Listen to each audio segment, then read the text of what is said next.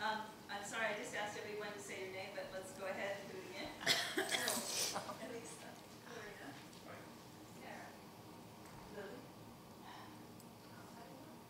Nancy, Nancy, Julia, Justin? Mary. Bo. Josie, Cindy, Nana, Victoria,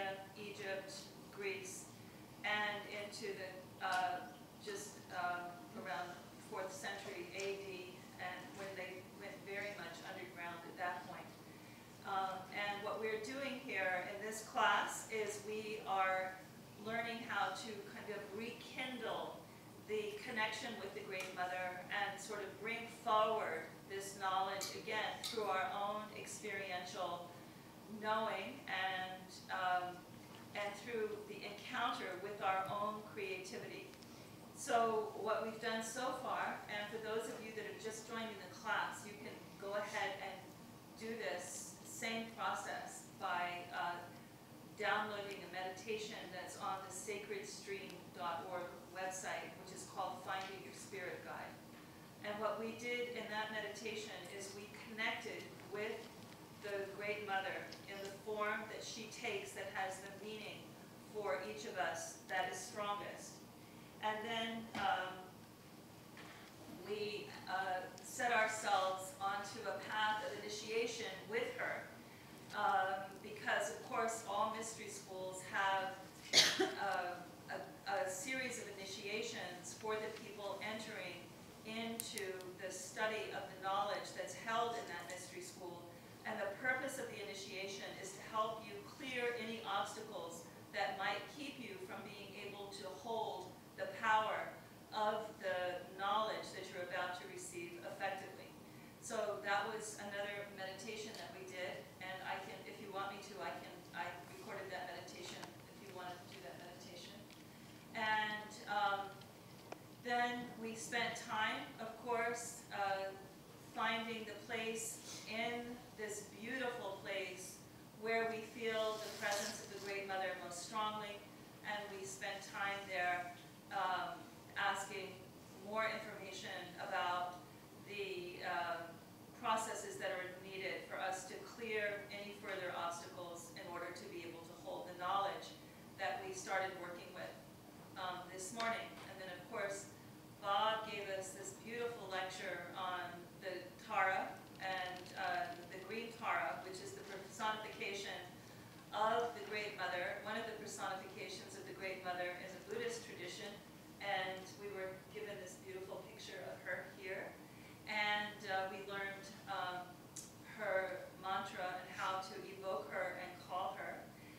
And um, then we also spent some time this morning looking at the nature of the creative portal. And uh, this is uh, something that is easy to perceive in the process of birthing. Kind of hard to mistake that portal opening up and the unseen moving into the seen, right? And uh, we looked at the requirements of the portal in general and the way in which creative power moves through a creative portal.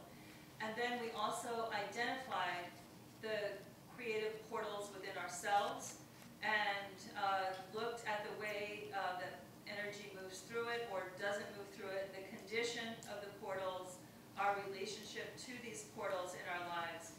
And um, we spent some time here this afternoon looking further into what needs to be done to, what changes might need to be made in our lives, or what new structures might need to be put in place in order to be able to um, bring forward our creativity and to cultivate the different creative portals in our lives in as clear and consistent and unobstructed way as possible. And of course, I think many people uh, had were able to see how how this material is relevant to them in their lives. And one of the interesting themes for me, I was reflecting at lunch, I was reflecting on one of the interesting themes that seemed to come forward um, in our inquiry was the fact that many of you actually had a good understanding about the nature of the creativity and the nature of your creative product. And you understood that you needed to protect it in some way. And uh, I, I think it's very interesting that so many of you had this understanding and had put in place structures that were designed to protect the creative product, but were actually turning out to block you from your creativity. Hmm. And then the task is, of course, to be able to generate new structures, new containers, to be able to access, not only protect the creativity in a more effective way, but then to be able to express it uh, more fully and directly in your life. And another common, you know, of course, one of the common uh, themes that we saw as people were beginning to look at what it might mean to actually truly express this creative power that moves through them and which unites them in the dance with the Great Mother, with her great creative generativity, is a, a fear. You know, uh, there are different types of fear, but what, what does it mean to enter into that kind of a dance? What kind of a, what, what do I have to, what do I have to face within myself that uh, might become an obstruction to my ability to dance that dance with the Great Mother? And of course, this is what we were working on further this afternoon. And so this whole class is in itself a process of initiation. And when we're looking at the nature of initiation, how initiation is tied with change, how it, how it, chal- it, it, it creates one form as another form is breaking down. Old forms have to die in order for new forms to be born. And the way that the initiation works is by challenging the status quo, by challenging what is, and then allowing for the processes of transformation to release the power that is held in the old form so that it can be dedicated to the new form. And this is a very important part of creativity, and that is actually the dance that we're working with all the time.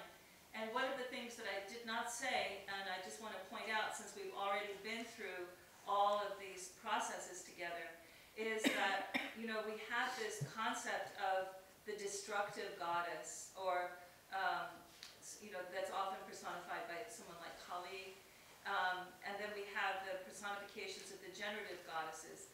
And I just wanted to point out that it's important to see that the destruction that needs to happen in the old forms is imperative. It's actually part of the creative process, so that the creative forms can take uh, the power that is in those outworn forms and dedicate it to something new. And that is actually what we are in the process of doing here in this class. We're changing the way that we have been. We are changing our relationship to our creativity and the portals that hold it, and we are bringing forward a new way of being and dedicating the power that is released as those old forms fall away to the new way of being forms and the new relationship to creativity, and thereby stepping into a larger participation with the Great Mother, becoming truly one of her, uh, uh, the word that comes to me is handmaidens, um, but that's not meant in any kind of uh, pejorative or less than context. It's actually a, you know, a, a great honor to be able to dance that dance Great Mother and to dedicate ourselves to those creative processes that she mediates and demonstrates for us. So that's pretty much where we've been in a, in a general way, for those of you that are just joining us. And, um, you know, we, we talked at length about the creative portal. And Bob, I don't know if you've ever heard of that expression before, the creative portal. Of, but then I don't know what you mean. Maybe not in that particular way. Um, But one of the things that I just wanted, with your permission, to kind of explore with you is who you are as a being in terms of your own creative portals. The, the creative portals being these, if you look at your life and you see all of the different things that you have created, all of the books that you've translated, all of the students that you've taught,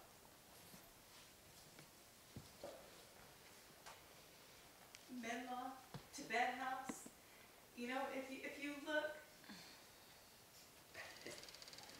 I don't know, I mean, you are such It's a a kind of creative misery, I know. but you're a- such a creative being, you know, there, and I think that if, if you look, you know, I remember we were talking when you were in San Francisco, and you were, you were feeling a little discouraged, and you, you were saying, you know, the Tibetan people are not free yet. But, you know, if you look at everything that you have accomplished, all of the different forms, Menla itself as a creative portal, and all of the creativity that moves through here, Tibet House as a creative portal, and all of the creativity and all of the teaching that happens through Tibet House, and the way in which Tibet House is one of the many creative portals that the Tibetan diaspora to create as they had this huge creative portal of Mahayana Buddhism that they had created a safe container for within the Tibetan culture as they had that destroyed. And, and you can look at the way in which the Tibetan people and the, at the direction of His Holiness were so dedicated, they had so much intelligence that they needed to create new creative portals to hold the power of the Mahayana practices as practiced in Tibet. And they, one of the first things they did was to establish the monasteries and to establish these centers for learning in order to be able to hold this creative power that is the essence of Mahayana Buddhism. And if you look at Mahayana Buddhism itself, it is a tremendously powerful and creative portal that holds teachings that are dynamic and which are, they, actually the difference between Mahayana Buddhism and Hinayana Buddhism from my point of view is that, and again, you'll have to correct me, Bob, if I'm, you know, incorrect here, but uh, Hinayana, of course, is a wonderful holder of the Buddha's first set of realizations, but it didn't allow itself to move with, this, with the Gandan re Renaissance. It didn't allow itself to be able to take advantage of this tremendous amount of creative power that came through Tsongkhapa and that came through Asanga as they were working with Manjushri and Maitreya, respectively, um, channeling this powerful information that became a renaissance and became a deepening of the wisdom that was available to human beings on this planet. And so if you, if you just, I just wanted to spend a moment to just look, you know, have a look at all of these creative portals that are around us. The, the Mahayana Buddhism itself, the, the universities that hold and maintain creative portals for that powerful creative force. Uh, the way that Tibet House takes its place in, in maintaining containers for that force here in the United States. The way that Menla takes that one step further. And if you look behind Menla and Tibet House, of course, you find Bob and all of his, all of his creativity, all of the translations that he's done to make so much of this knowledge available to us. And he has offered this transformation. If we talk about, you know, the, you know, the process of translation is the process of transformation. And you can see the goddess working through Bob wherever he is appearing. And he appears everywhere all the time. and I mean, I, you know, I, I, I- guess I'm singing praises. Well, I think we have to say that, that uh, Nina is the creative portal of Menla and Tibet House. In a sense, we are a team, you know, and I kind of have a voice about it, and I have, I, I'm- I, I, I yap a lot, you know, I blah, blah. But she actually organizes and structures and is, it creates. Without her, none of this much would have happened. Yes, uh, yes, all, all And, honor uh, and kudos to you, Nina. She's overwhelmed by it even right now. I mean, and, uh, but that's very kind of you to say all this. What, what, what is occurring in my mind, you, do you want me to do something Yes, now? yeah, yeah. That's very, very sweet of you and kind of you, and, uh, it is a tiresome thing. Um, you know, I'm known as a horrible workaholic. Actually, Nina calls me a Buddhaholic. And, uh, it is kind of the, my nature. And, uh, but in a way, the, the whole concept of creative and generative, I, I want to say something about that. Because the nirvana itself is called the uncreated. When Buddha attained uh, bliss, uh, freedom from suffering, nirvana, under the Bodhi tree, uh, you know, like 2,700 years ago it he said, profound peace, uh, something uh, luminous, clear light, total free of elaboration or proliferation, and then dumaje, uncreated, like an elixir of immortality, is the reality I have discovered. And then he, his whole thing went on from there. And uh, because, you know, the, the idea of divinity that people have, and it, it does still harken back in different cultures to the idea of creation, you know, that somebody created the world. Whereas from Buddha's point of view, the world as inhabited by self-centered and ignorant beings, ignorant described as those who think they are the center of the universe, and others are, you know, subordinate to them, which others don't agree to, ever, and therefore it's a strife. You know, because each one of all the individuals thinks they are the thing, and therefore nobody agrees with anybody. When, unless it's kind of sort of superficial, when everything is, everyone is when the plates are all full, then it's like, oh, after you, you know, after you. But when, when there's a famine, as uh, one friend of mine used to say, it's everybody suffering for himself. or a fire or something like that, except for the exceptional being. So, so the, so creativity, the creativity of the Buddha, the creativity, and actually I think true secret of all creativity, including the, the Great Mother, comes from, we have to decouple it from the idea of creating the world. just any old way kind of thing. And in fact, what it is, is creating freedom and creating a better world and creating a freedom from suffering for others. And, and that creation comes from beings recognizing it's somehow the uncreated and the selfless and the, the unborn. There's like it said, in the first stage of that realization, it says something called the tolerance of birthlessness. For example, then the thing of portal is interesting to me. The Vimalakirti Sutra, I keep forgetting to bring that. In the Vimalakirti Sutra, there's a very famous thing, the ninth chapter my translation, where Vimalakirti invites 32 bodhisattvas, who are all incredibly wise sages, to express what they call the Dharma door. And here the word Dharma means reality. You know, the uncreated reality that is the reality of freedom from suffering, which is what we all are in, actually. Actually, really. We think we're in some place, like we're in the barn at Menla, at the, in the class, and then we're going to go somewhere else and go to dinner or home and whatever. That's what we think. But actually, in all of that, we're in nirvana. Actually, we're in total freedom. And uh, so the Dharma door, so that, that's the reality. But then that reality becomes a door. Because in a way, freedom itself is a negation. You know, we think, you know, even, even W was going to fight for freedom.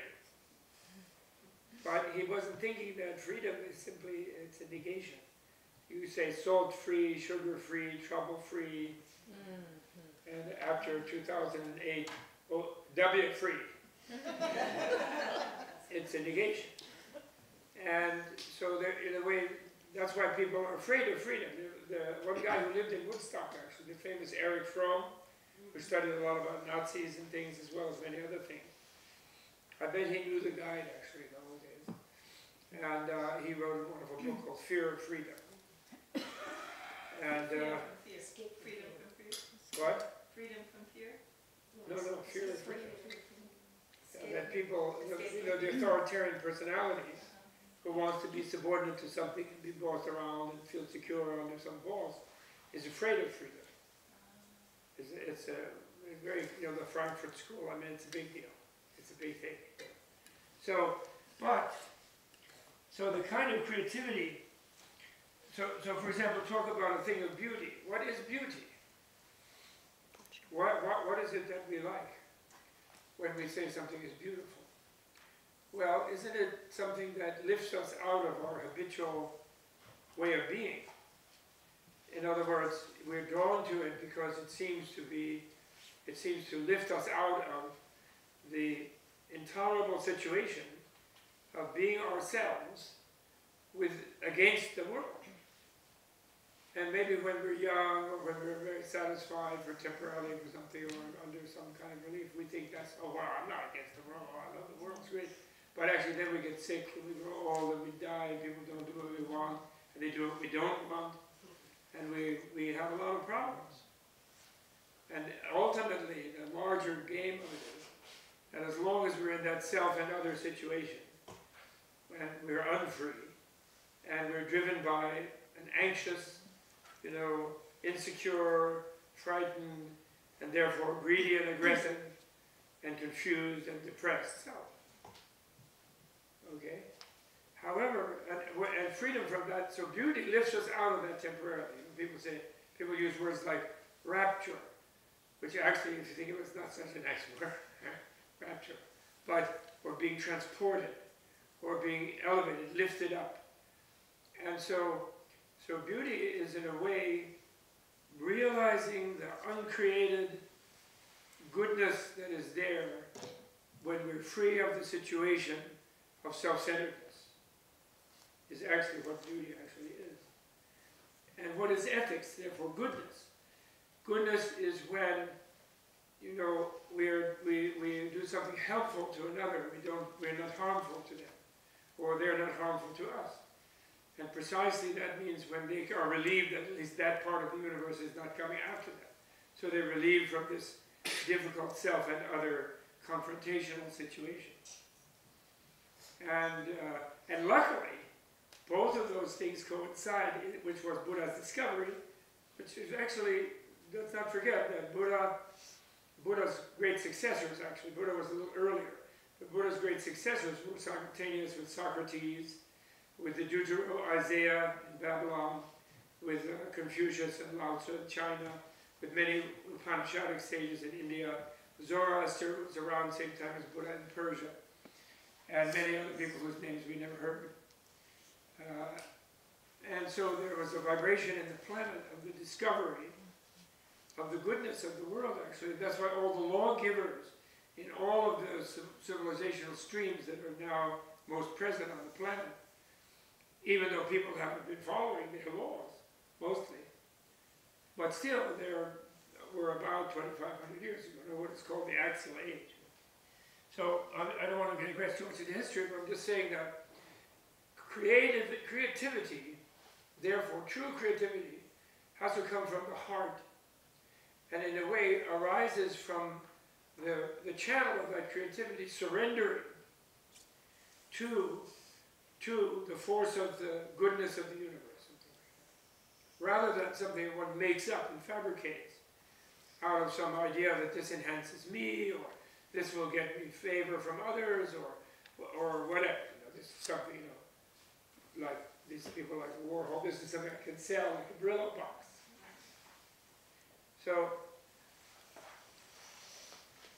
so now, therefore, the great mother in Buddhism, as we said, you know, yesterday, is the Prajna Paramita. Is every, and Prajna Paramita is not a person outside somewhere.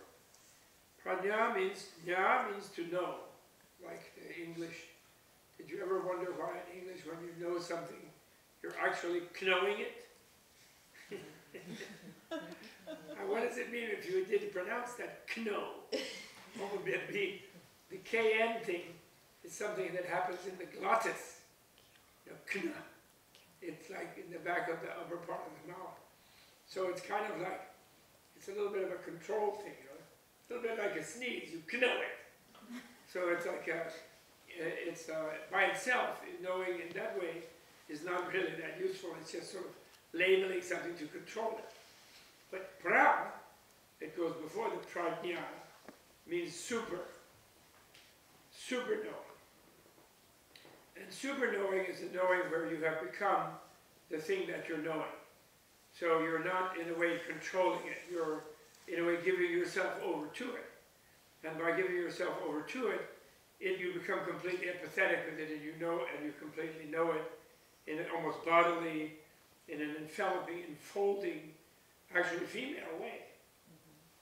And then paramita means to go beyond, transcend.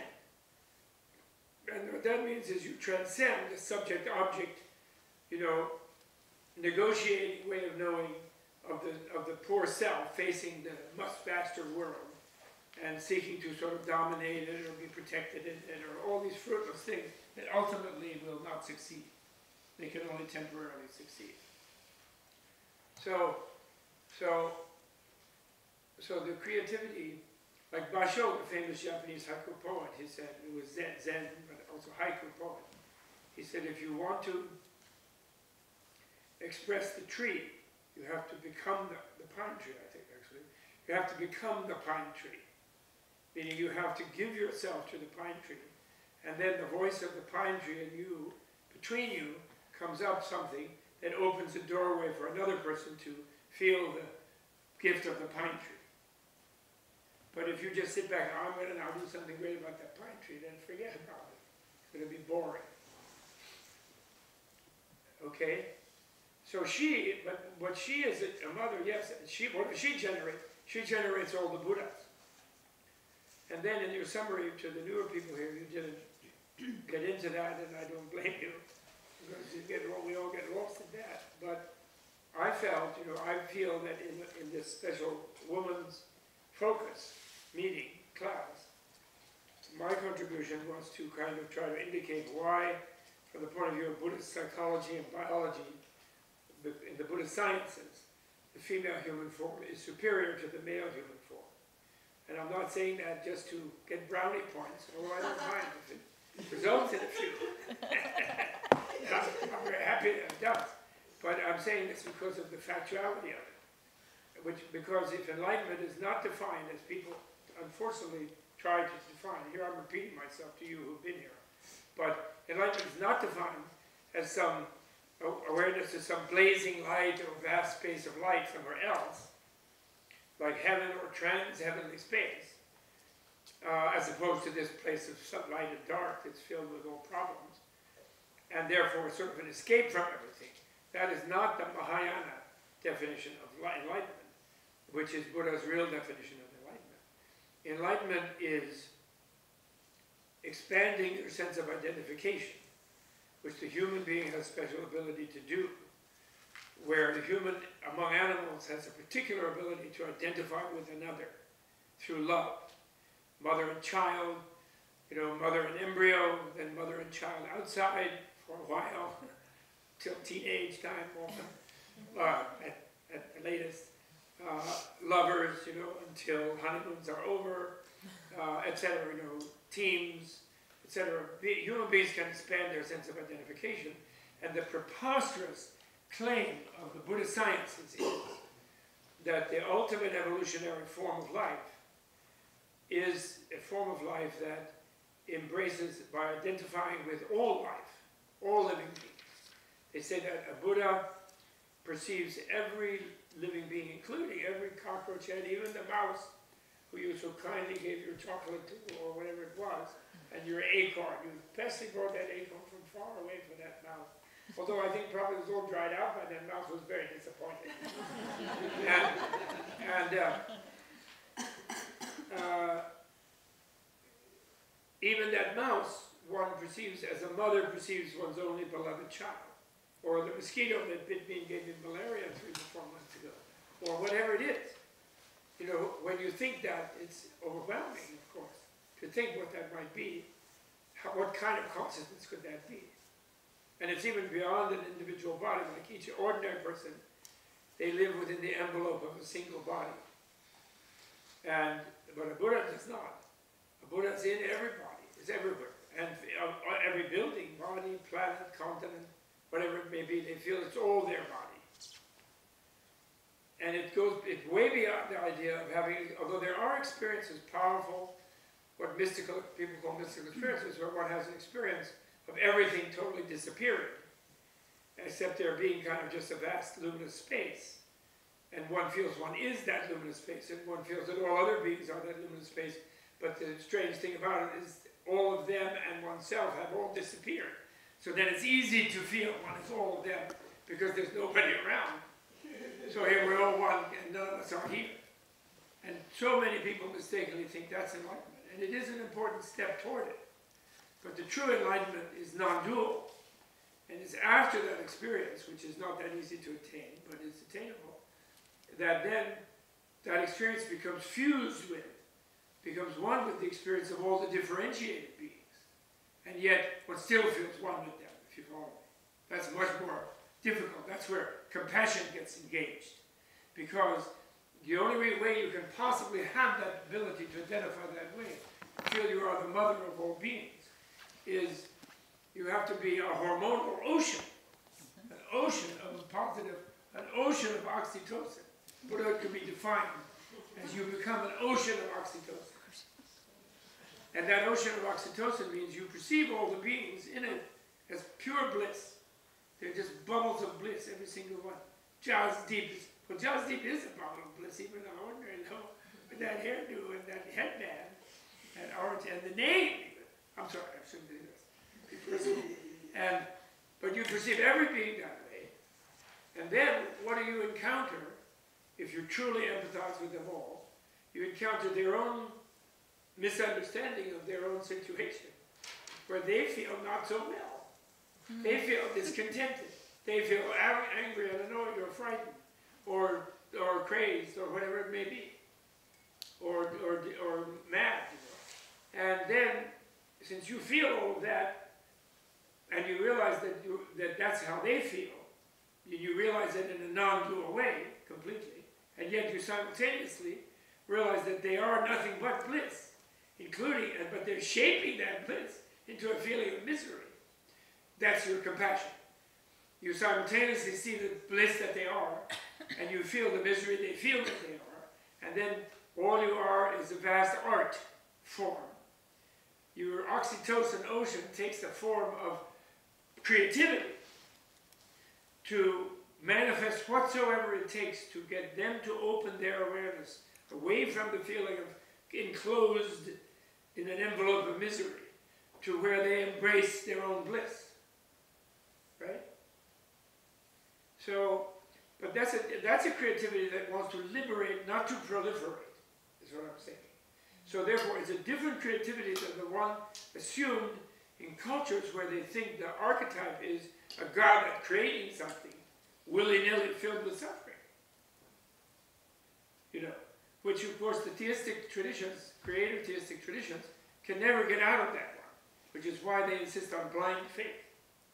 Because if there's an omnipotent being, made everything, and still untold on top of it all, and it's filled with death and suffering and misery and the loss of children before parents and all the worst things there are in the world, then what, what kind of weirdo is that?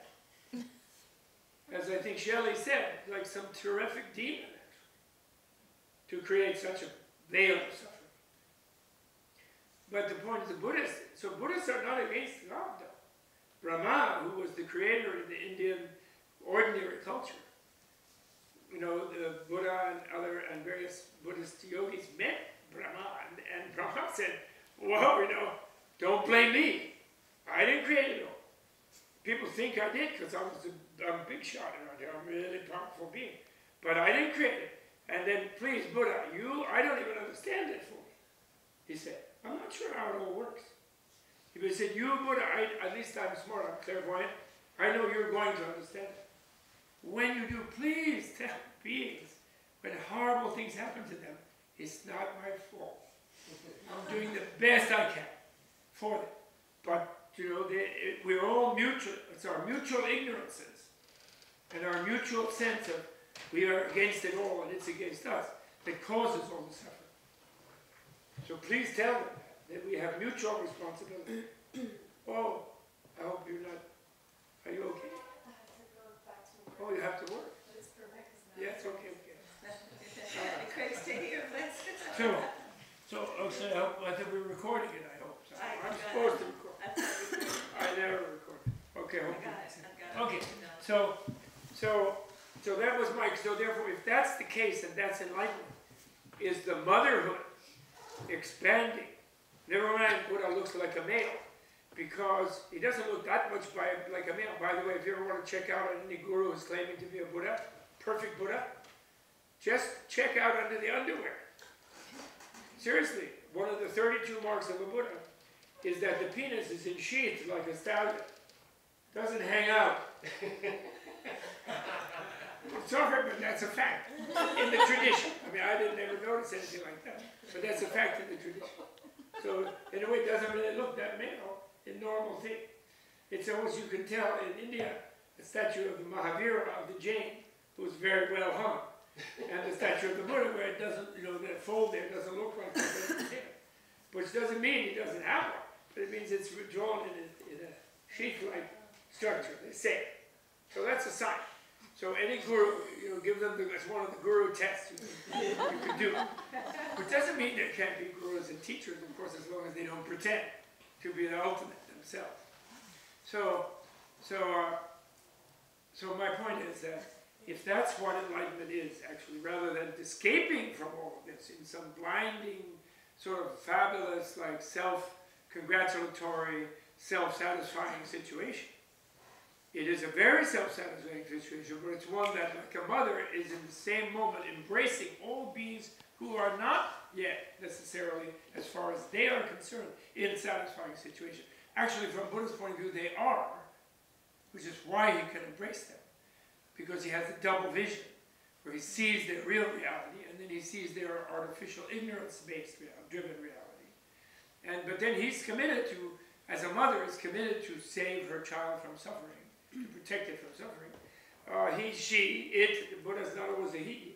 is committed to bring it, bring those beings into their awareness of their own bliss. No, not a bliss that Buddha gives them, not at all. They have it themselves. They just have to open to find it in themselves. Okay? So if that is a biological fact, as the Buddhist sciences say, then the biological reality is that the female form of the human being is superior to the male. And therefore, in our era, in our time, of after 5,000 years of chauvinist, militaristic, violent, brute domination by males, which doesn't even make them happy, but and has very, very carnage, very seas of blood flow, then the women must step up and really take charge, at least or at least balance. And, and maybe that will be new, since there we also discussed one thing that that uh, that Isa in her excellent summary didn't mention was we also discussed this this archaeology of, and discovery through literature and archaeology, but more archaeology because it was pre-text at least that we have, that there were many many you know millennia, uh, decades of millennia of female-dominated civilizations, matriarchal civilizations throughout Eurasia, before the last five, ten thousand years, when the, the guys with their G.I. Joe kind of took over, starting with chariot warriors coming out of Central Asia, the first like Mongolian type hordes, came out of Central Asia to Europe and India and China and Persia and even all the way to Egypt and so on. So, so that, that was my point. That's a great point. And uh, today, since I'm supposed to contribute something, you know, in the, in the afternoon session, to help Isa lifting, doing the heavy, who's doing the main heavy lifting in this class.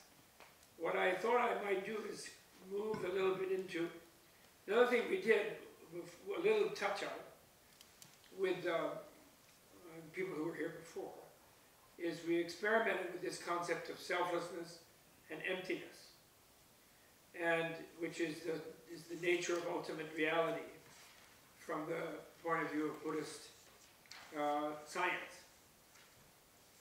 And especially first point there to be made is that the emptiness is not nothingness.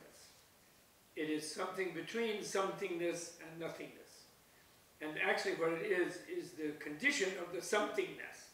Because luckily, there is no nothingness. That's precisely what nothingness means, is it's not there. and that's a really important thing for everyone to know. There is a, the first part of the past, as taught by Tsongkhapa, taught by Atisha, taught by Manjushri, taught by Shakyamuni Buddha, is for human beings to realize the preciousness of their human embodiment. How precious you are as because you become a human being. Now, the materialist scientist, Carl Sagan, had a beautiful thing back in his Cosmos series, which some of you older people might have seen along with me in the 70s. And he had this thing where he would walk on the cosmic calendar, you know, from Precambrian slime, a few hundred thousand or a billion, half a billion years ago or something, whatever, on the planet. And he would walk down the days to like midnight or 11.30 p.m., suddenly human beings come up around 100,000 years ago, according to that theory, you know. And then finally there's the, there's Carl Sagan, actually, professor at Cornell, tenure, and, and uh, you know, the highest achievement. And, uh, and, but he's the highest achievement because who has been coming all that long way? Some genes. And actually, according to the English guy from Oxford, selfish genes. Not even selfless or compassionate genes, selfish genes. Just trying to get more like Pac-Man. It's the march of Pac-Man. Pac-Man has finally created a human being to consume more things, so it fits very well with consumer society. So we could, we have, we're, we're composed of billions of Pac-Men, you know, the microbiome consuming things. And so we need, therefore we need a Tesla. We need a BMW. Whatever. Uh, so, but he would still talk about how miraculous the human being is. You know, the joints of the arm and the fingers and the brain, what was he going on? So he has an appreciation The materialist scientists have a great appreciation of that. But where they fall short of the Buddhist science is that you, we personally were not involved in that amazing evolution. And not only were we not involved in that whole long, incredible past, but we're not even involved now. Because we have no soul, we have no real mind, it's an illusion of the brain, it stops the minute we die. So existentially, we're already nothing. Spiritually speaking, we're nothing, right? That's a key, cardinal point of material science. That we're all nothing. We're just waiting to realize it by dying. We sort of have previews by sleeping. When we, have deep enough sleep, good enough sleeping pill. No dreams. Right? So, so therefore, that worldview doesn't make us very precious as individual persons. We're just, we're maybe, you know, yeah, we're someone who depends on us, our child, well, we're precious to the child. They, have, they need us to grow up. So we're precious to our parents because we're their child. Maybe we're precious to our government because we pay taxes. we're, you know, but, but we're, they, they have an expression of materials. I think it's 85 cents of chem- cheap chemicals in a bag of water. That's what we're worth. And, we're, and our presence and existence is an accident, and we, we change by mm. random mutation. There's no causal process. We, we can't control it. And then if we went to school and we studied Darwin, Marx, and Freud, we are completely convinced at the end of that that we have no free will and we're 100% helpless. And that guy Daniel Kahneman at Stanford just got a big prize for proving that you can't even make a choice. You wonderful made a beautiful thing yesterday about freedom means choice, ability, and responsibility, and ability to take make choices. But according to them, your brain already made a choice two minutes before you knew about it. and so they're proving to you that you're a helpless biological robot. All of them. They're completely insane. I'm sorry. But because why?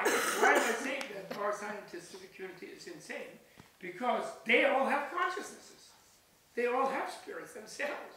That's what's making their mathematics and reading their machine dials and looking for the Higgs boson and worrying about dark matter and dark energy, which I think they're scared that they think it's the great mother. It's going to come and them. and they're defending their 3% of bright matter. And that's why they were screaming all over the papers worldwide that they have a Higgs boson, which I call the Higgs boson. but then they were qualifying at the end of each article. Yeah, but there's 97% dark energy and dark matter.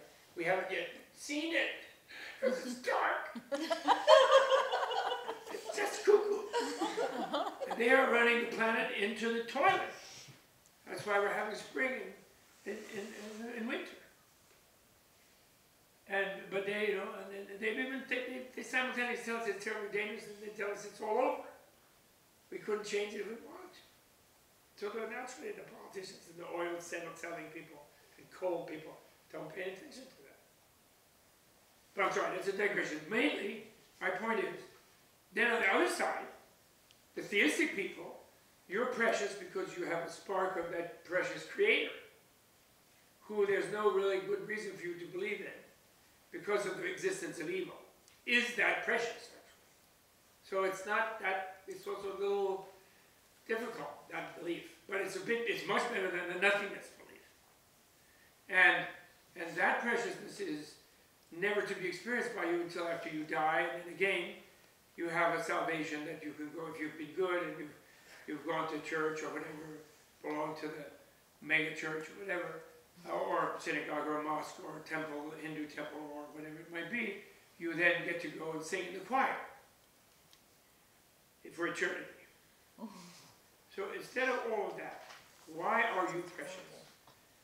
You are precious because you personally have a beginningless life. Your own life is infinite. You have been in every conceivable life form, therefore, in the past. Every, really, much more horrible ones than the human one. Also more divine ones than human ones. Demonic ones, even. And you've been Brahmans, you created the world.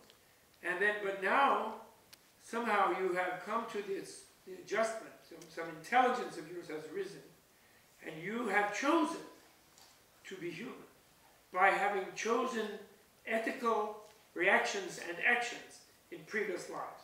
And ethical means actions and reactions that take into consideration the beings you're interacting with. The animal with suffering and life is called, in Buddhist science, the suffering of one eating another. You know, just immediate consumption. It's like the Pac-Man world. You live in fear of being consumed by a lion or a tiger, you're a deer, and then you're consuming, actually deers are nice, they're just eating grass. Maybe they pick up a few ants with their tongue, but they're mainly eating grass. But some animals both eat and be eaten.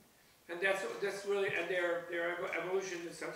But then when you were an animal, when I was an animal, don't take it personally, then sometime I was about to pounce on something and eat it, and then some dim thing in my little brain that mainly wants to eat identified with that thing and saw it was scurrying off to steal her chocolate.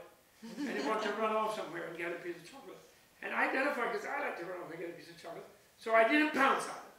And then I waited a little while, then I got more hungry and pounced on one.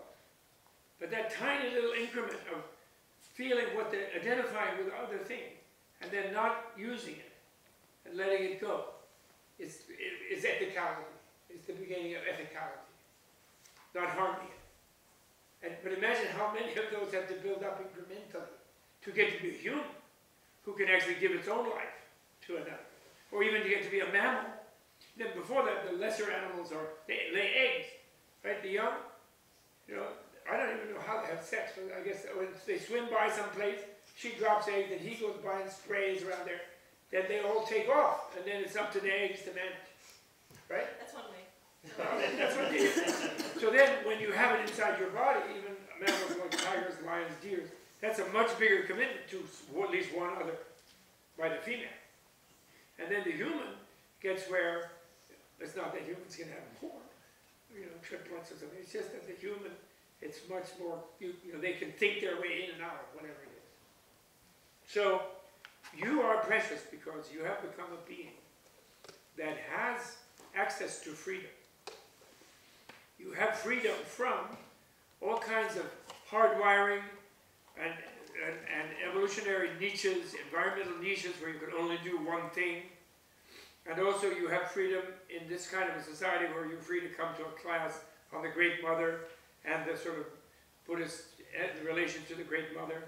And you can change yourself, go through portals of creativity, of tolerating the, the, the letting go of some old structure and opening into a new insight. And that's the, how many people on this planet do that on a Saturday? Not so many. And many, of them- there's hundreds of millions of slaves on this planet right now. Actual slaves, owned people. Wi- A lot of women, also boys and things, slaving in factories or groves and things. Hundreds of millions of them. And then people in prisons. And then they are slaves. In our country, we have two, three million people, and they have to work in there, so they're also slaves. They get 35 cents a day in their prison cell. And something like that. They make license plates and the road signs you see on the highway. Um, and uh, you're free, so that you have all these kind of freedoms. And you're also intelligent. You don't, you're not defective in your brain or your mind or something. And you, and you can really, you can do yoga, you can think, you can, you can channel. And, and uh, on the other hand, you're also in a place where there are teachings, there are guides, there are enlightened beings, their presence is there in literature. If you can't find one on the street, you can find a book, you know. And, but there are so many who are there. And the men are particularly lucky, since they're a little backward. That's made up for the fact that there are equal number, more or less, of women to teach them something if they would be smart enough to learn. Right? Someone once asked me, you know, when I talked about a concept of cool heroism, in other words, the person who reacts to injury and provocation without reactive fury and anger, and you know, even self-destructive blind fury and anger, which is, which is what normal, when fury takes you over, where you have bad judgment, pretty much self-destructive, although it may also harm others in the way. And they said, well, where is any of these cool heroes on this planet? You know, you know, in, in, in contradiction to my argument that we all totally believe that anybody can go in, the in any military and get brainwashed and conditioned in boot camp to do what they normally wouldn't do as nice people, which is go around and stab people with bayonets and shoot them and machine gun them and do horrible things to them. And they can be trained to be callous, in other words, about others, and also even risk their lives completely to do so. When they're supposed to do only, you know, survival of the, self is only what they're supposed to do, but they can be trained not to survive. And therefore they were doubting that people as a cool hero can be willing to give their body without harming anybody else, without hating anybody. In other words, using love rather than hatred to develop an equal self-detachment. They made that argument, and then they asked me, asked me to show what a dumb man I am. I was like feeling really cornered by this argument. Like, where can I find a Gandhi? No, I was thinking like that. And then, of course, I realized I thought of my own family, both my birth family and my present family, my, where I'm a father. And I realized the males in the families are often locked in violent confrontations. Siblings fight each other, father and son fight each other all the time. They have, you know, Oedipal thing tells them they're supposed to, actually. And siblings in societies where they don't fight, they're not fighting bears or wolves or, you know, they don't have to do farm work together and they don't need each other. They're just competing for resources and fighting over the chocolate bar. So they don't necessarily get along. So then I realized, well, how do families stay together? Well, of course, it's because women are in the families. And the women don't react with immediate counter-violence and immediate avenging energy instantly when there's conflict. And they're always in the middle taking blows. No, dear, you didn't mean that. No, don't beat each other. No, don't hit him with that club. No. And sometimes getting in the way and getting hit themselves. Occasionally, some of them get rough, you know, like what that, Elaine and Bobbin? They occasionally. but, but, but mostly they're bearing the brunt and they're cementing, you know, the oxytocin is keeping the cortisol from blowing up every single family on the planet all the time. So there's your cool heroes, right there. That guy was nailed. It was, but it, it was disgusting that I had to figure it out. It took me so long, having been the beneficiary, having a hot temper throughout my life of, of women who are showing cool heroism. So, so the preciousness, you would not waste your time in your life just making money or just achieving this worldly or getting another house or rushing around like this and like that. Instead of, not that those things are Uh, some degree are necessary for most people, but you wouldn't waste your time putting so much priority on quote unquote survival things if you realize how precious your opportunity, your life moments and days and weeks and months of waking time, and even you're going to learn to use sleep time and dream time, if you realize that you are at a moment where you can accelerate your evolution towards vast embodiments of great motherhood, of great enlightenment, of great blisshood, you could, in this life form, like incrementally, like leap, leapfrogging over billions of lifetimes of slogging along, just grabbing what is in front of you. And that is the purpose for realizing how precious, from a scientific point of view, how precious your present intelligence, embodiment, and sensitivity and creativity is. And if you and, and, and all that kind of meditation coming from the Buddhist sciences, appealing from the great mother of wisdom, doesn't just mean you sit and sort of just try to condition yourself of, I'm so precious, I'm so precious, I'm so precious, like that great guy who on the TV who says that I'm worth it and I'm nice, and that thing. That's also okay to do, but think about why you don't think you're precious. Who told you that you have no soul? And what evidence do they have? Who told you that the consequences of how you live end at your death, whether you're good or bad, before it's all over? There's no effect. It's just an accident anyway. And you're just a robot. What evidence do they have for that? Which person, I always like to say, did Carl Sagan report back saying, hey guys, it's cool, don't worry, I'm nothing. There's no future experience, consequence to how I live, good or bad. So don't sweat it too much. Man. take a break, drive your BMW, whatever. Even if the whole planet goes down, everybody will be nothing, they won't miss being on the planet after they've gone. They'll be anesthetized, eternal. What evidence will there, not only what evidence is it, they always tell me, actually I have a friend who's a movie maker, he contemplated making, making, a biography of me, as a film, and, you know, fictionalized. But anyway, he had a scene in the end where I was at Columbia at Low Library, or it could be Widener Library at Harvard anyway, a big room like that. And I was on trial from the natural scientists, and the social scientists, and the, all the humanists who grovel to them all the time. And I was on trial for of misleading the young into thinking they might have a future life and a former life. And I was being, being forced to recant. Ah! He thought that would be the concluding scene. He thought that would be cool. Yeah, it looked dramatic sense. I kind of like it. But and because they always ask you, what's your evidence? There is no evidence for future life, former life. And then you say to them, well, there is a lot of evidence. Many people remember previous lives. There's huge literature of documentation of people remembering previous lives. And continuity is the rule in nature. And you have, you guys have the law of thermodynamics. And mind is, consciousness and soul have energy. So they're energies. And you have a doctrine that no energies can be destroyed. I grant you if people say mind has no energy, then that's conceding to you.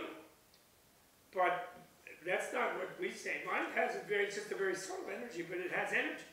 Of course it does. It changes, moves, lives, it's alive. Your spirit and your mind and your soul's alive. It's infinitely alive. So there's a lot of evidence, and there's a lot of reasoning. And then, then you say to them, what is your evidence that you can have some energetic process become nothing? Uniquely the, the spirit of a living being. All others you have thermodynamics, no energy is ever destroyed in the universe. So it's, it's ridiculous, it's even incoherent to say a stream of anything becomes nothing. It just changes form. And they can never say that. But they, they try to just make a dogmatic assertion that mind in particular never did exist. And therefore they give you the salvation. You know, the scientists are high priests. They're Big Bang, you know, and all their crap. They're a bunch of high priests. And they're telling you they know what's going to happen to you, so rely on them. And they give you salvation in that you don't have to pay for consequences of anything negative you ever did. And there's no, no reason to really strive to do anything positive that hard. You don't have to run, after Bernie and do a political revolution and create a miracle and get rid of the oligarchs and the morons who presently have usurped our democratic government and are not serving, not doing their job and not serving the people. But we just nothing we can do about it. We're all powerless because we're just biological robots. so that, so then, so that makes second point. So first point, you females are the superior half of the human species, and you're getting a raw deal worldwide. Actually, you may think if you're in California or New York, you're kind of doing okay. But actually, you, the Equal Rights Amendment was never ratified in this Neanderthal country. Mm-hmm. And the rest of the world is really tough. And mm-hmm. there I recommend, I told Alexander about it, book by Marilyn Waring, and those who are making notes, sociologist from New Zealand, called W-A-R-I-N-G, called Counting for Nothing, colon, the, the labor of women. And she means labor in both senses. That labor, bringing life to birth to beings, and, and gestating them and bringing them to birth, and then labor, actually, in the, in the, in the economy. So, so that's, so point one is you are the better half of the species. So you have that, you have, you can take pride in that and assert the power of that. And you also have the responsibility of that. And you can't just hide. You should, you know, it won't help you. Point one. Point two, the human species as a whole, even the guys, is an immense, immensely precious life form. And each individual who has one has labored enormously in infinite previous lives. And every male has been female. And every female has been male in previous lives. And This life, therefore, should be educational in the deepest evolutionary sense. That's what human life is for. To expand toward Buddha life, toward enlightened life, which doesn't have anything to do with religion, It doesn't mean being a Buddhist. It means becoming, expanding that empathy and sensitivity to the infinite. And then, third point is, and for that I brought today the flower ornament scripture, or sutra, which doesn't really mean, it means discourse, but of course this is your text form, so it's a scripture of a discourse, of many discourses of the Buddha. And that discourse goes into creativity, actually. Closer to what, you know, the idea of creating a world would be. But what it is, it's recreating a world of suffering into a world of bliss, both being relative worlds, though. The world of bliss is not an absolute world. The world of suffering is already an absolute world. And it isn't really suffering. That's what, the- absolutely speaking, it's a blissful world. No, no, don't leave. No, come back. I know why you're going out. Stay, stay, stay. Just. My friend, my dear friend. Please stay. And, uh, and, uh, so, uh, in the Chinese commentary on this school based on this sutra, which the Chinese uh, call the Huayan Shu, or Hua- Jiao, Huayan Jiao, the school of uh, flower ornament, or the garland. And the garland is a garland of universes, actually. It's what is meant by the garland. Flower, universe, flowers of universes. And there are said to be three levels of this. And the first is the level of seeing true voidness. And so the Dharma door of non-duality, the Dharma door of selflessness, the Dharma door of, of emptiness, is where you overcome your fear of death by letting go of yourself meditatively,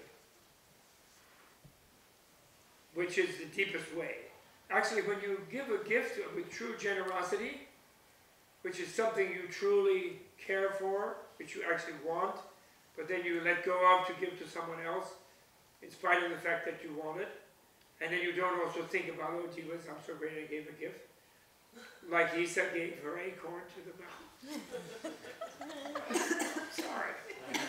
Me and Titi go. Anyway, when you do that, that's like you die a little bit. You know, that you're letting go of something precious to you.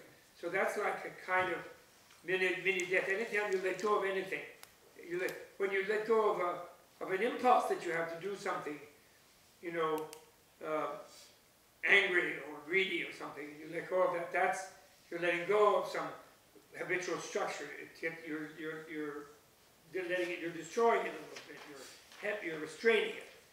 That's also realizing emptiness, actually.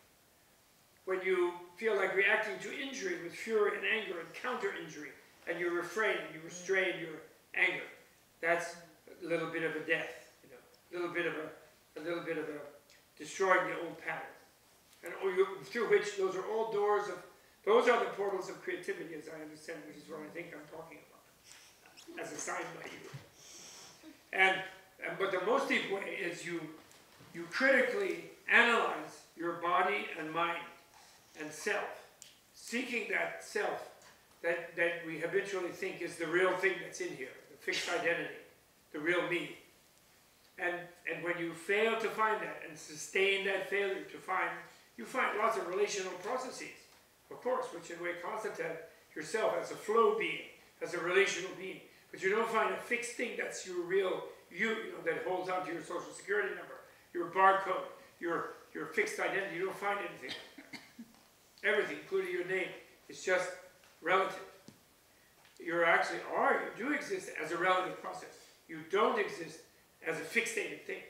And when you realize that viscerally, that sense of being that fixated thing has to let go of itself. You kind of let go of holding on to the, that illusion.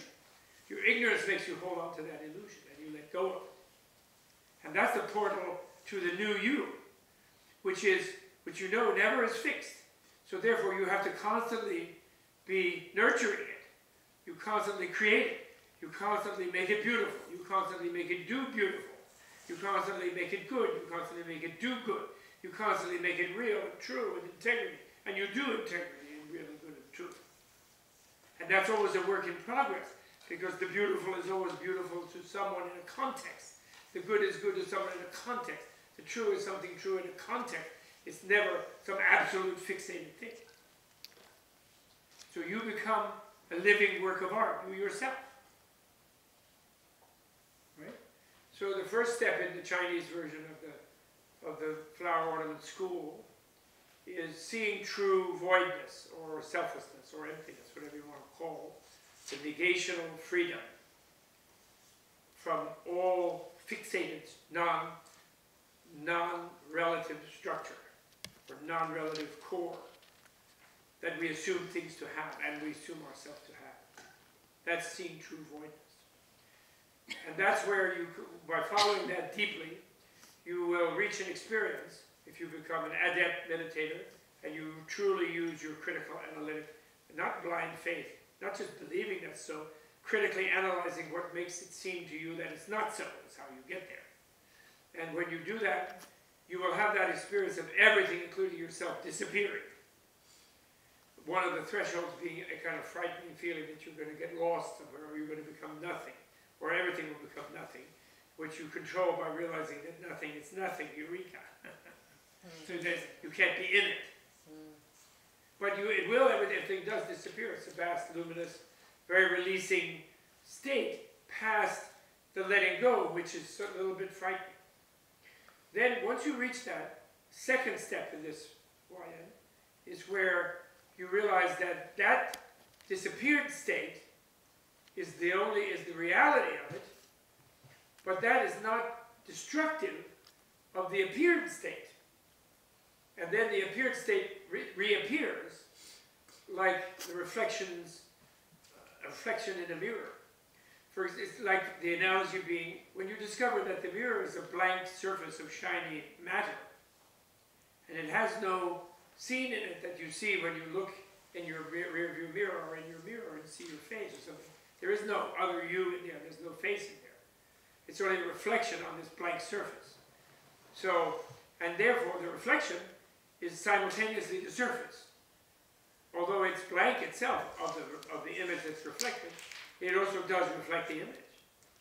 And now all of the differentiated things that you see there are like reflections. You follow me? But yet it's so deep and inconceivable at the visceral level that, the, that no analogy really matches it. You follow that? So the second one is the non-duality of the absolute and relative, which means that, that the absolute emptiness is the relativity. That this is, that nirvana is this relative, conventional, samsaric world. And it's only samsaric, meaning bearing suffering, for those who don't know that it is also the absolute. And who think that each little thing in it is an absolute, conflicting against the other absolute. Because of ignorance. And then the third level. And so that level is kind of cementing the portal with the place of being. So that the whole place of being becomes a portal. Something like that. And by knowing that, the mother, the mother sensitivity, the mother compassion, the mother wisdom, has no, realizes there's no escape from all the relational. And there's no escape all the beings. And you know, we're all here. We're not over it. This is not over at 6 o'clock. It's not even 6 o'clock. It's not over then. We leave. We never leave. We're here together forever. We, even we die, we'll be reborn with each other. Again and again, we have already been met each other. Again and again. How, why did we come here? How come we're here? Well, we've already been doing many things with each other, infinite times in the past. Now we're here again. And we'll continue in the future. So then the mother, knowing that, and if we really know what this is, all of us, we will realize this is fine. It's not a problem. We don't need to escape from this. This is bliss. We're all each other's mothers. We're all mothers of each other. We're all here to create happiness for each other. We all love each other. That's the best way to be when we're forced to be together for eternity. There's no escape from it. So how can we be having conflict? Conflict only comes from thinking, I'm going to get rid of this one. I want that one out of my life. Uh, you know, we, we, two of us that kind of coexist at the same time. Time, time. So then the third one, though. So then the mother wants to spread over everything. The great female, great mother, Prajnaparami. Then the third plane of this, which is what the sutra really expands, is called the magnificent activities path. You could call it the magnificent creativity path, for sure. Because this creativity is not to proliferate new worlds just for the heck of it, disregarding its impact on others. It is creativity drawn by love of others, made by love of others, which therefore is drawn by others' need for happiness and need for freedom from suffering. Compassion being the way you hook up to another, to another's need for freedom from suffering. That's called your compassion. And your and your love means hooking up with others' need for happiness. So they're like two. They're part of a circuit. So therefore, you can't have real compassion actually unless you have some happiness to share. Because if you're miserable, how would you? And you think that's the natural way of things. How would you think that another who's miserable could be anything other than that? You wouldn't really feel that intuitively. Only when you have some bliss and you realize you see the other pinched one like, uh, and then, then you see they don't need to be pinched up like that. And then, then you, you have compassion, you say, you don't need that bliss. And you see, you feel, you can, just like we always see others, when we're paranoid, we think everybody else is afraid of everything. When we're happy, we see everyone else smiling. You know, we notice some, whatever they feel good about. So then this is called not the non-duality of, of absolute and relative, but the non-duality of relative and relative.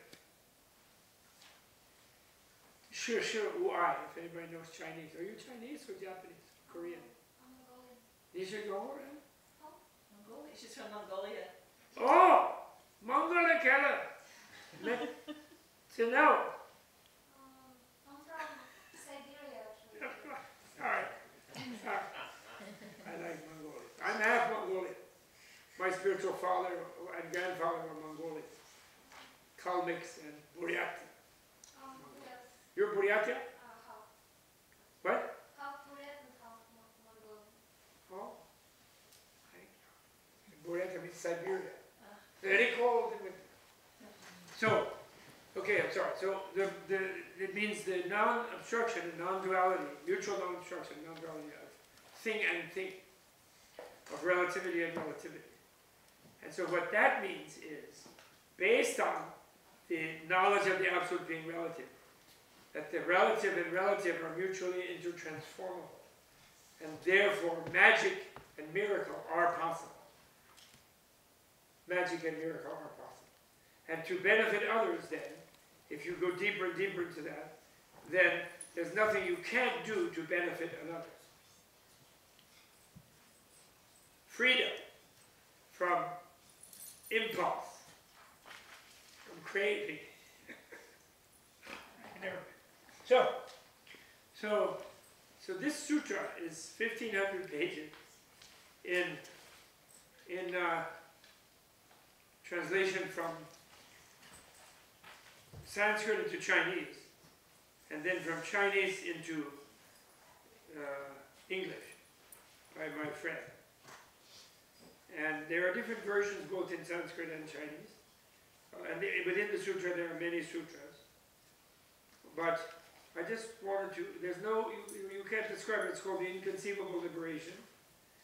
In a way you can't really describe it, but you just have to, you just have to sort of let it resonate in the imagination. So what I thought I would do now at this point is have you meditate and not listen to me with, with sort of reasoning mind, which I hopefully you were doing till now, but meditate with your imagination and your visualization.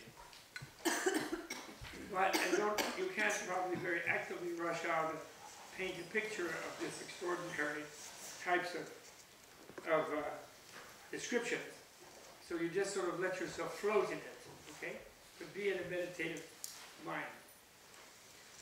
So thus did I hear at one time, which is all sutras, which are records of Buddha's discourses, are uh, that's a sort of sort of certificate of authenticity that someone actually heard this. It was there when Buddha said it. And it's but this is introductory, saying where Buddha was and what Buddha is. The Buddha was in the land of Magadha, somewhere in India near uh, where uh, anyway, in the middle of India, an important kingdom at that time, in a state of purity, at the site of enlightenment. Actually, at the Bodhi, he's under the tree of enlightenment. He's under a tree like a shaman, sitting under the tree of enlightenment, having just realized true awareness. The ground was solid and firm, made of diamond, adorned with exquisite jewel discs and myriad precious flowers with pure, clear crystals. The ocean of characteristics of the various colors appeared over an infinite extent. There were banners of precious stones, constantly emitting shining light and producing beautiful sounds. Nets of myriad gems and garlands of exquisitely scented flowers hung all around. The finest jewels appeared spontaneously raining inexhaustible quantities of gems and beautiful flowers all over the earth. There were rows of jeweled trees, their branches and foliage lustrous and luxuriant. By the Buddha's spiritual power, he caused all the adornments of this enlightenment site to be reflected therein. This is creativity. The tree of enlightenment was tall and outstanding. Its trunk was diamond. Its main boughs were sapphire. Its branches and twigs were of various precious elements. The leaves, spreading in all directions, provided shade like clouds. The precious blossoms were of various colors. The branching twigs spread out their shadows. Also, the fruits were jewels, edible jewels, containing a blazing radiance. They were, together with the flowers, in great arrays. The entire circumference of the tree emanated light. Within the light there rained precious stones. And within each gem there were enlightening beings, like angelic bodhisattvas, in great hosts, like clouds, simultaneously appear. Micro, micro angels, micro bodhisattvas. Also, by virtue of the awesome spiritual power of the Buddha, the tree of enlightenment constantly gave forth sublime sounds speaking various truths without end. You see, this is, this is the Buddha mother of all beings, spreading the exquisite nurturing membrane of emptiness, which is ultimate absolute reality, inconceivably spreading, which is inconceivably a nurturing membrane that fits every macro and micro configuration of every form of differentiated life with ultimate nurture of beauty, truth, and goodness. He is spreading this womb of ultimate reality, which is, which is his body, in the form of his womb body, which is infinite also, which therefore is enfolding all beings, enfolding them within their own Buddha potential as embryonic Buddhas themselves not as somehow dependent upon himself, because he feels one with them, and he's, he knows that what they need is to realize they are one with him. And therefore, this membrane is completely enfolding all of them, infinitely, not just on the one planet, not just in the one place with the one tree, but infinitely, throughout the universe, across the space, cosmic space, with the speed of light, beyond the speed of light, instantaneous you know, spooky action at a distance, as they call it, the quantum people. Spooky meaning wholly spooky. also by virtue of the, also, yeah, Tree of Enlightenment constantly gave forth sublime sounds, speaking various truths without end. the palace chamber in which the Buddha was situated, his womb, that is, his emptiness, absoluteness womb, was spacious. It's not just him, the body, sense, an envelope being sitting under a tree, different from things around him. That's just a form, still maintaining, because that's helpful for some to perceive as a doorway to the vastness, the infinity of the Buddha presence. It extended throughout the ten directions. It was made of jewels of various colors and was decorated with all kinds of precious flowers. The various adornments radiated lights like clouds, and the masses of their reflections from within the palace formed banners. A boundless host of enlightening beings, angelic bodhisattvas, the congregation at the site of enlightenment, were all gathered there by means of the ability to manifest the lights and even inconceivable sounds of the Buddhas. They fashioned nets of the finest jewels, from which came forth all the realms of action of the spiritual powers of the Buddha, and in which were reflected images of the abodes of all beings. And then he talks about their thrones and their radiance, and you know, oh yeah, at that time, I'll skip a little, the Buddha, the world honored one, in this setting, which, which he's maintaining the setting, he's maintaining the appearance of still being the individual being, separate from others, who was a prince and a king and then a yogi and then became a Buddha. So that beings can relate to that as a doorway of their own becoming, and own, their own selves as human beings, you know, male and female, young and old, whatever, being able to find their own Buddhahood. So he means himself that present for a while. Not, for, not forever, but at this planet, but for a while. At that time, the Buddha, in this setting, attained to supreme correct awareness of all things. His knowledge entered, I would translate, realistic awareness of all things. His knowledge entered into all times with complete equanimity. His body filled all worlds. His voice universally accorded with all lands in the ten directions. Like space, which contains all forms, he made no discrimination among all objects. And as space extends everywhere, he entered, entered all lands with equanimity. That's the spreading of that shunyata karuna garbha, emptiness, the womb of compassion. His body forever sat omnipresent in all sites of enlightenment, because he repeated this in every humanoid world. There are infinite numbers. Carl Sagan needn't have worried with his SETI SETI. There's trillions of human worlds, endless numbers, infinite numbers of them, everywhere. And by mind, we can know that and can visit there. And with enlightenment, we are aware and present there. Among the host of enlightening beings, his awareness light, his awesome light shone like clearly, like the sun emerging, illumining the world. The ocean of myriad virtues which he practiced in all times was thoroughly pure. He's also present in all time, in the past, present, and future. He goes backwards into every element of time, changing the past, actually. It's not impossible to do at all. The ocean of myriad virtues which he practiced in all times was thoroughly pure, and he constantly demonstrated the productions of all the Buddha lands, their boundless forms and spheres of light extending throughout the center, the entire cosmos, equally and, and impartially. He expounded all truths like spreading great clouds. Each of his hair tips was able to contain all universes without interference, in each manifesting immeasurable spiritual powers, teaching and civilizing all sentient beings. His body extended throughout the ten directions, yet without coming or going. His knowledge entered into all forms and realized the voidness of all things. All the miraculous displays of the Buddhas of past, present, and future were all seen in his light, and all the adornments of inconceivable aeons were revealed.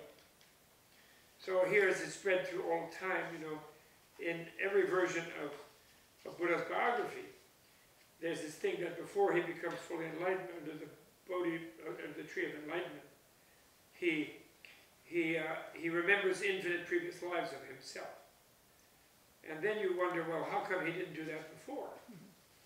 And other beings can uh, realize a few previous lives, but very few can uh, realize infinite previous lives, as he did. And, you know, I had this eureka moment few years ago. where I realized, why was he able to do that? Why don't we remember our previous lives? Because we suffered in our previous lives. We suffered death out of that just past one.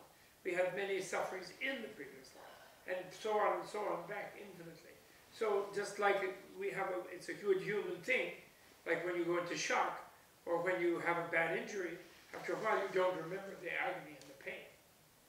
And so we don't want to remember. But nirvana means realizing the, that the uncreated is the infinite, nurturing, compassionate womb of reality, bringing, you know, you know, making manifest the bliss of all life already, not later, not but already. When you realize that, you realize retroactively that when you were suffering in past lives, even in hell, you were actually in bliss, and your ignorance was making a hell around yourself, was making yourself into a terrible struggle, was making yourself into terrible gri- grief and, and horror and anger and fury and, and pain and so on. So you, you get a double vision about your own past. So then you can critique. You automatically see through your, your ignorance-driven perception of your past as, a, as suffering. So you actually realize that your past is different than you thought it was. Even your death was only your bliss. Death is only where you expand in bliss, actually. So, so there's nothing, there's no, that's deathless. That's why he said that reality was deathless. That door, that door, the death-like door, which the ego-centered person sees as death, which is giving of oneself, the death-like door, portal, into creativity is actually not death. It is just vast opening. And it opens to the reality of the infinitely available energy of the Great Mother, of the Great Mother of transcendent wisdom, which is infinitely available, which at Menla we all sleep in. Right? Did anybody, I hope everybody slept in the clear light who was here yesterday. You don't sleep in dark nothingness, even though you do, and you sleep hopefully in a dark room. and you close your eyes and you don't hear anything. But your, you, your cells and your being falls into beneath the darkness or within the darkness is the clear light, the diamond clear, infinite energy, field of the infinite womb of the great Mother Buddha, the great enlightened Mother. Now, second point in this one is, we still have time, tiny bit. Second light is the, is the concept of Samanta Bhadra. Samanta Bhadra means total goody goody. Samanta Bhadra means. Samanta means thorough going all around. Bhadra means good. So, so I, don't, I won't, I won't digress because I don't have time.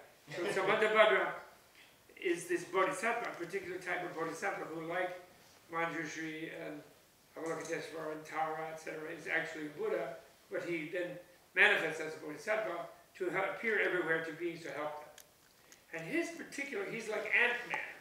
He's the Ant-Man of bodhisattvas. You know that movie, Ant-Man? oh, you don't read comics because it's so highfalutin. But they, had, they made a movie. They made a Marvel movie about it. And it was quite fun. I mean, for childish people like me, anyway. And that means that he goes in the micro world. You know, the, the vision of this non-obstruction of thing and thing, based on the realization of the non-obstruction of absolute emptiness and total, total relativity, sees the entirety of the infinite universe in every atom within that infinite universe. It's a holographic vision of reality. So Samantabhadra is the bodhisattva who is holographically present in every universe, in every. And even in each universe in an atom, the atoms of that universe in the atom have universes in their atoms. And even those atoms of that universe there have universes in their atoms, and so on and so on. And Samantabhadra is everywhere in them. Although, of course, at some point, right, like the wave particle paradox, you lose track of a solid thing like an atom, because atoms dissolve under analysis also. They're just relational construct sort of levels of magnification. And then the wave becomes more flowing and more fluid. But you go infinitely to the microverse, infinitely to the macroverse. This whole universe here is only like a subatomic particle in a vast universe, of which this is a subatomic particle, and so on, tiered up. And Samantabhadra is present like a holographic thing of infinite goodness present in every micro element of everything. So, for example, in every part of your body. So, the yoga of Samantabhadra that you do is sort of realizing that your own, what are you made of? Are you made of atoms? Well, you're made of molecules, you're told. But actually, you're not really made of molecules or atoms. That's just a level of magnification about you. What you're really made of, of is light. Because the atoms are made up of photons and electrons and nucleus. And then those nucleuses are not solid, and then they get down to where they don't know what it is. You know, they get into the wave particle paradox, they get into the uncertainty principle, where there is no such thing as objective reality of some solid, indivisible thing, which Buddha predicted thousands of years ago. This sutra predicts that thousands of years ago. When you, if you ever viscerally know that by becoming a Buddha, which everybody can do, and everybody is going to do at some time, maybe not in this life, but whenever they do, it will be in all their lives. So no problem.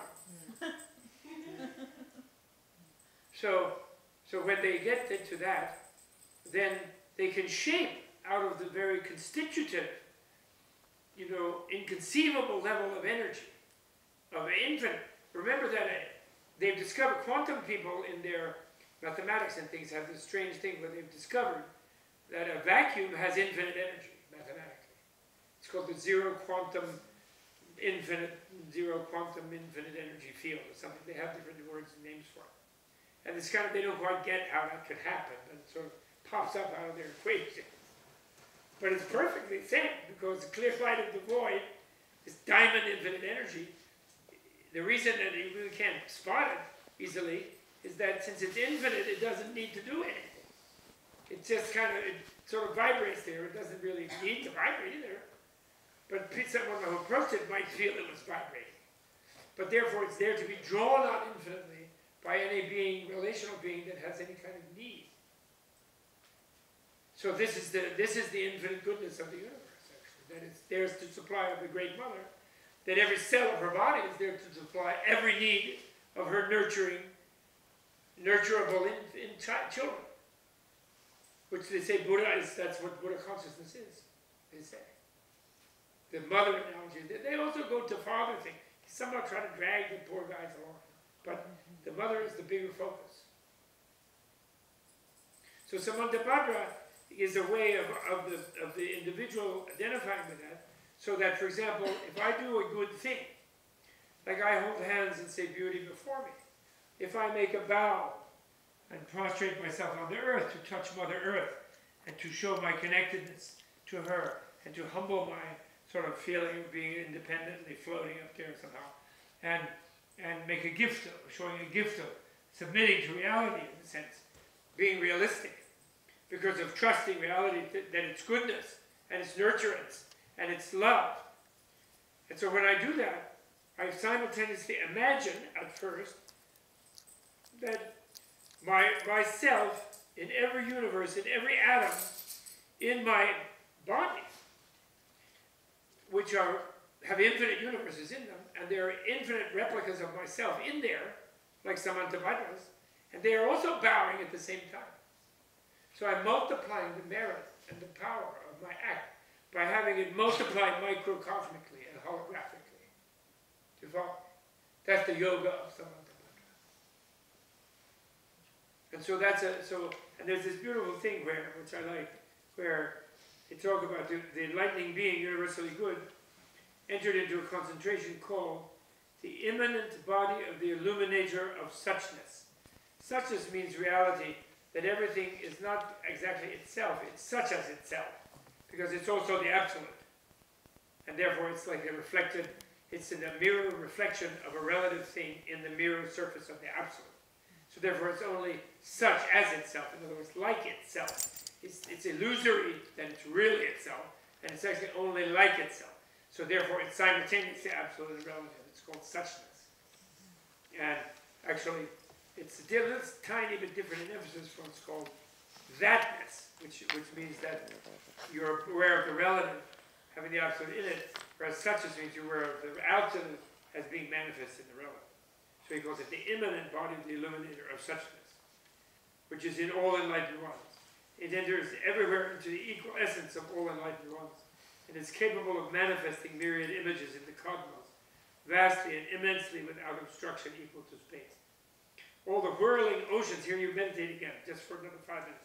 All the whirling oceans of universes flow along into it. It produces all states of concentration, samadhi, and can contain all worlds in all directions. The oceans of lights of knowledge of all the enlightened ones come from here. It can reveal all the oceans of all conditions, everywhere. It contains within it all the powers and liberations of the enlightened ones and the knowledge of the enlightening beings. It can cause the particles of all lands to be universally able to contain boundless universes. It develops the ocean of virtuous qualities of all Buddhas and reveals the ocean of great vows of these enlightened ones. All the cycles of teaching of the Buddhas flow through it and are guarded and maintained by it and kept without interruption or end. and the teaching just means, the point of teaching is, that's the greatest thing that the enlightened mind can do for the unenlightened ones who think they're suffering. The bliss enlightened mind is get them to understand their bliss. So therefore that is teaching is required. Sometimes it need not be verbal, sometimes it's a gesture, sometimes it's just presence, sometimes it's a light, sometimes it's a scent, sometimes it's a sound. It's, it's a, it, the, the concept of teaching means that the learner then can open to their real, more realistic conditions. And he goes on and he says, and uh, as in this world, the enlightening being universally good, Samantabhadra, entered this concentration in the presence of the Buddha. Thus, in the same way, throughout the realm of space of the cosmos, in all directions and all times, in a subtle, unhindered, vastly expansive light, in all lands visible to the Buddha's eye, within reach of the Buddha's power, manifested by the Buddha's body, and in each atom of all of those lands, there were Buddhas as numerous as atoms in an ocean of worlds, and in front of each Buddha were universally good enlightening beings, numerous as atoms in an ocean of worlds, each also entering into this concentration in the immanent body of the illuminator of thusness in enlightened ones. Anyway, that's enough, because we're going to stop for dinner. But the, that then leads to a moment in that chapter where the Buddha in this, on this planet, in this world, he reaches out and he pats the meditating bodhisattva Samantabhadra, who is in the illuminator of thusness of all worlds, in all atoms of every infinite world, and he pats him on the head.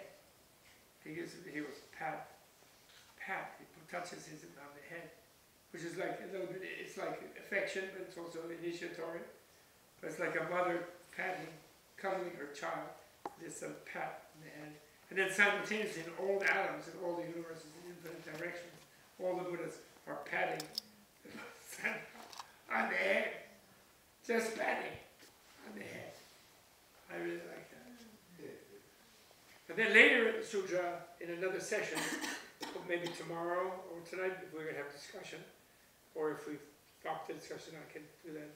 There's a thing where one of the, not Samantabhadra, he's always around because he's in every atom, but another guy who's a human who's looking for teachers, he, he meets 10 goddesses, and one of them is Buddha's mother, uh, Maya Devi, which means, Maya means the creative power, Maya.